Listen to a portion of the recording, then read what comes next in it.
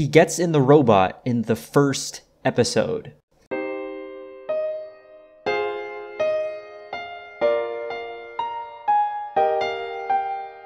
Oh man, this show.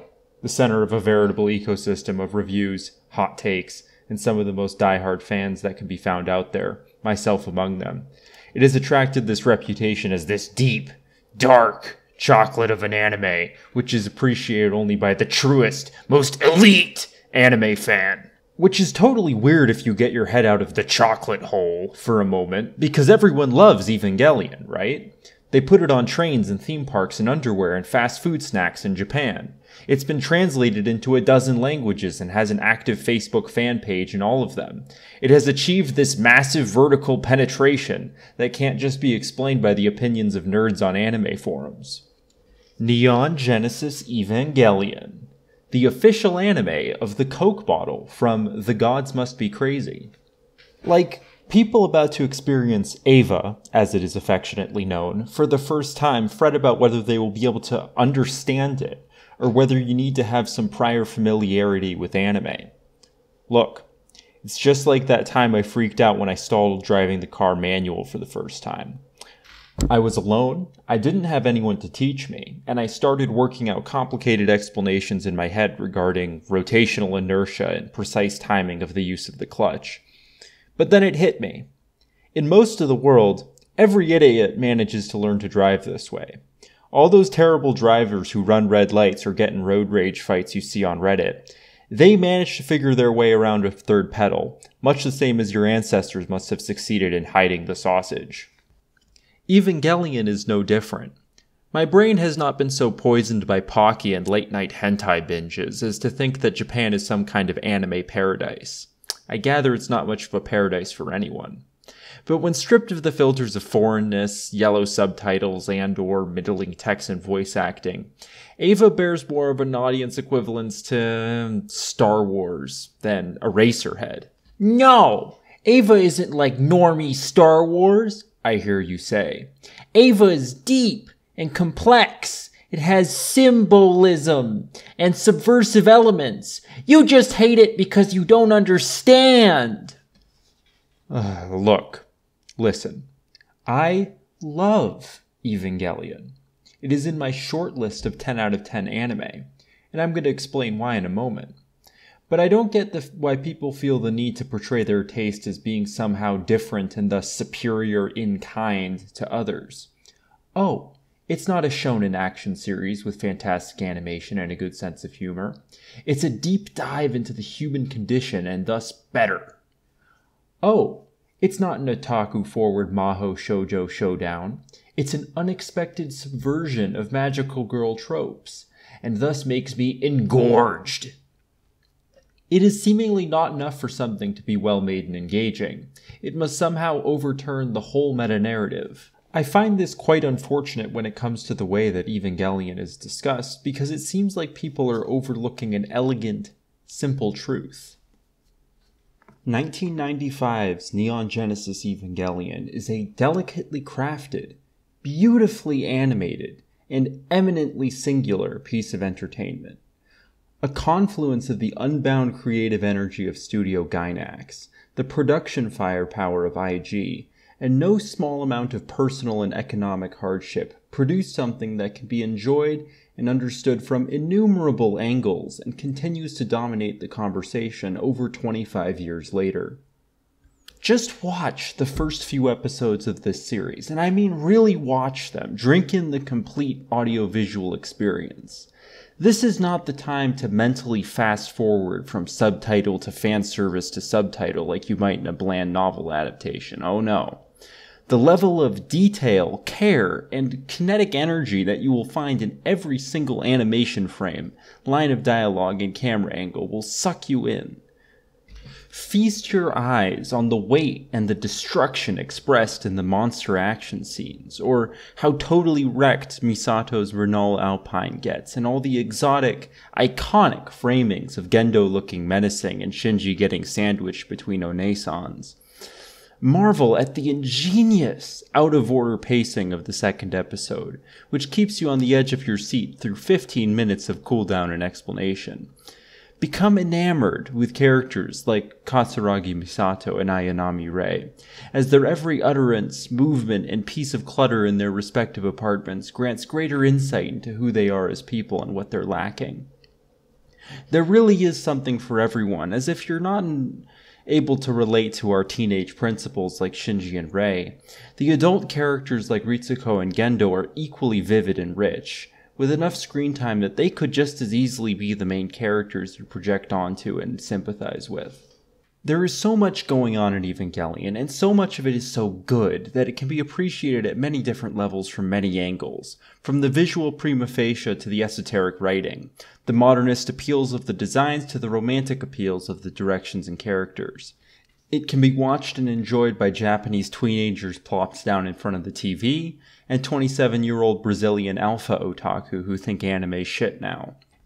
It's just like the opening of the series, which is memed so heavily, where even if you can't notice that Kaoru appears for two frames, or can't read fast enough to pick up the definition of AT field, you are gripped with the incredible momentum of that damned theme song. Neon Genesis Evangelion, the Honda Civic of anime. This isn't to say there aren't some red herrings or duds.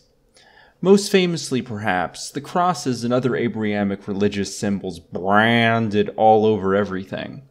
You're probably best served not reading into these, either in thinking there's some deep Old Testament themes or perceiving that other people perceive Old Testament themes that don't belong and therefore the entire show must be fake, pretentious bullshit. Hmm. As far as anyone can tell, those are all mostly there because Hideaki Anno really likes Devilman. Also, it's really common for people to talk about how Shinji is somehow highly unusual for an anime protagonist because he's not gung ho about the whole affair and faces self doubt and does not get in the fucking robot. Which is a little silly because he's hardly the first young male anime protagonist to reject the call to action, and he definitely isn't the last or most irresponsible. 16 years before Evangelion, Amuro Ray spent most of the seminal Mecha series whining about getting in the robot and once nearly got everyone killed by leaving and taking the irreplaceable robot with him. Ten years later, Sagara Sosuke would go AWOL in the middle of a mission to find truth inside a 40 and a Chinese prostitute. This seems to be a case where people who don't actually watch much anime are using some platonic boilerplate anime that only exists in YouTube parodies as a point of comparison, and couldn't name what show they're actually comparing it to if asked. And this is where we get back to talking about how Neon Genesis Evangelion is perceived rather than what it is as a product. Because far be it from me to say that people are enjoying something incorrectly, but I definitely think it is possible to advocate or explain something incorrectly. I remember the last time I watched the series. I was with a group of friends in a college dorm, and I think we were pretty deep in, probably episode 17 or 18 some random person who I think maybe watched some anime, but not a lot, came in and asked what we were watching and what it was about. My acquaintance who had supported me in setting up this showing and had a widely known enthusiasm for Evangelion, being able to name every angel from both the series and the rebuilds and his personal power ranking for them, straightened out his Bitcoin t shirt and started explaining. Well, you see, Ancient aliens came and seeded the world accidentally, and two different two creatures that seal excavating the black seed at the North Pole caused the ice caps and the flooding the trying to like basically destroy humanity because humanity has free will, and there's a decision to which level we want to go to. We have free will, so evil's allowed to come and contend, not just good. I crushed my popcorn in my fist. I wish I had shouted, What are you? Stupid? Though I'm sure I said something less eloquent at the time. I think I tried to talk over him with something along the lines of, It's the biblical apocalypse. These fragile kids have been put in the unenviable position of trying to stop it by piloting giant robots.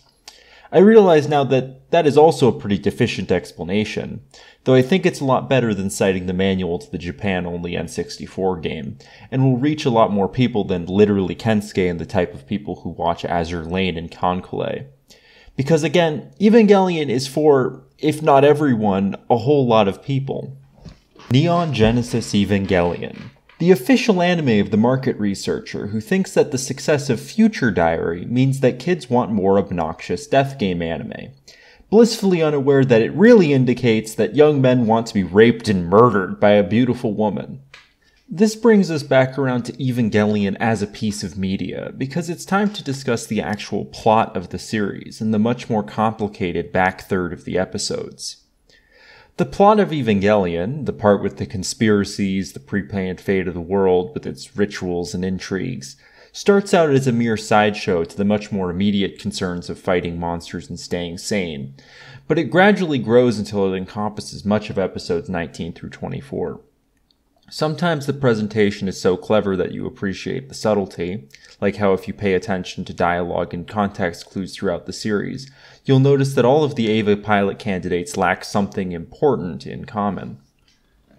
But the obscure ways that things are presented means you can pretty easily be excused for simply losing track of the circuitous gambits of SEELE, NERV, the UN, the Japanese government, Gendo Ikari, the Akagis, Adam, Lilith, the far ancestral race, the Knights of the Eastern Calculus, the Majestic Twelve, Arby's, the Kwantung Army, the Bogdanovs, and the 50 Gainax shell companies designed to ratfuck Hideaki Anno out of his royalties.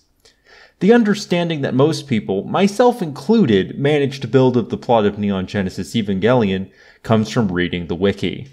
And this is okay once you realize that the plot is just an amusing sideshow to the story of Evangelion which is about a handful of very troubled people trying to find themselves and their place in the world under intense pressure.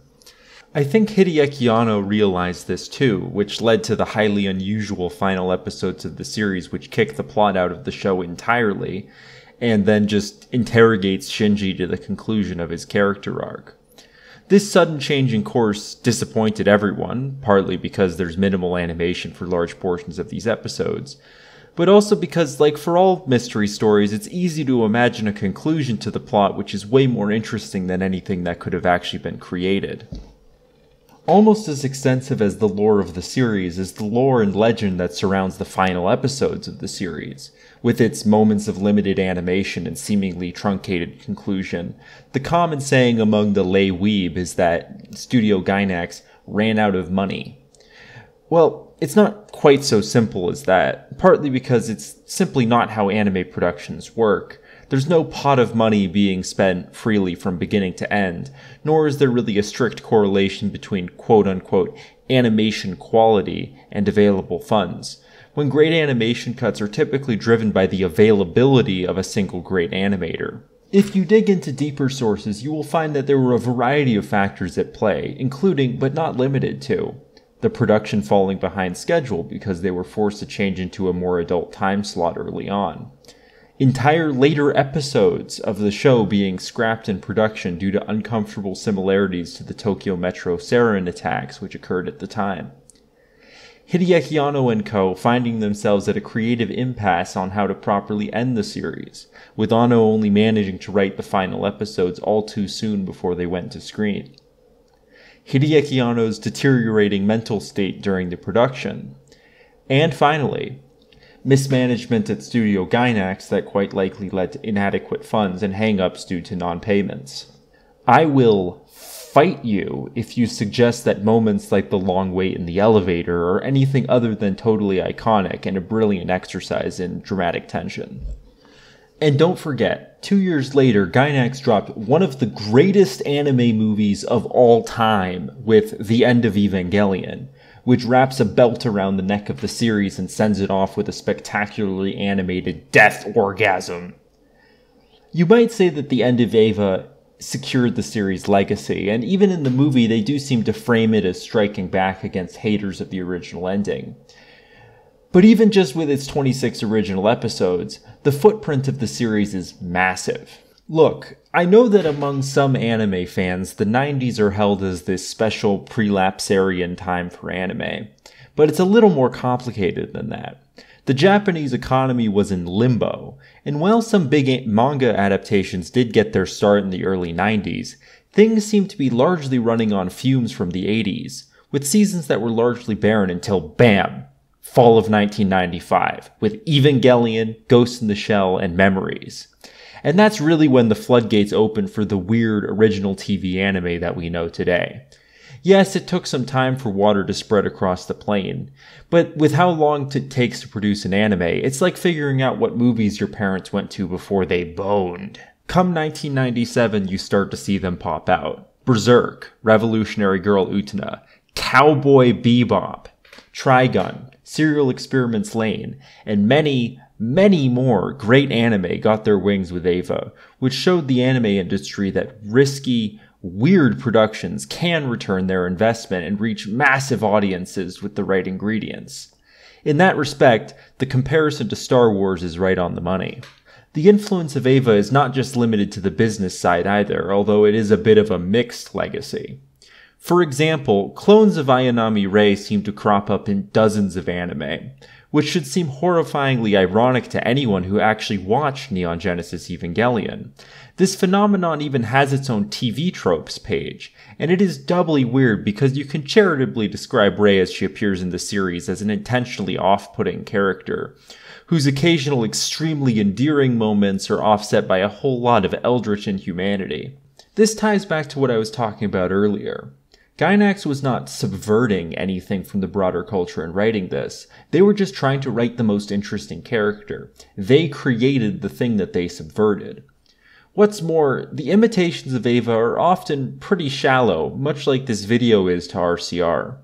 This shows most clearly with the legacy of Asuka, who is considered the godmother of the Tsundere archetype, even though when viewed on the whole, her motivations, her actions, and their consequences are totally unlike most of the characters she supposedly inspired. Because there is a sense of character realism at play here that most of the imitators unfortunately lack. If your insecurities make you constantly abrasive and demanding towards the person you like, that isn't going to make them like you back.